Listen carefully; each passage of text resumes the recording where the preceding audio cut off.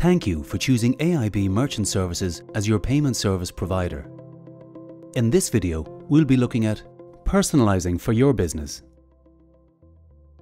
Once your Clover Mini or mobile is up and running, you can then start to personalize it for your business. We will begin by adding categories and items.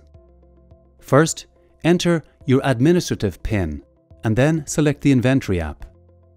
Choose the category view that will show each category and the items in it.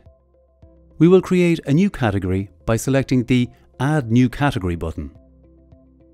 For the purpose of this video, we will call the category Fruit. If it was a hospitality site, it could be Starters. If it was a clothes shop, it could be Shirts. If it was a hair salon, it could be called Cuts. We are now inside the category called Fruit, but there are no items in it. We select the Add New Items without variants option. This is where we will add the item information. You will need to give the item a name, in this case, Apple. The next step is to enter the selling price in the Price section of the screen.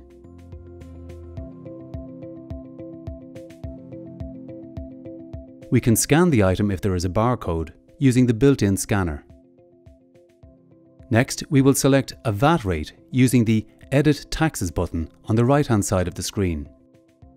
In this instance, apples are 0%, so we select Custom and choose 0% and Save. Once you have multiple items inside the category, you can change their order by holding your finger down on an item and sliding it up or down as relevant. This can also be done with categories.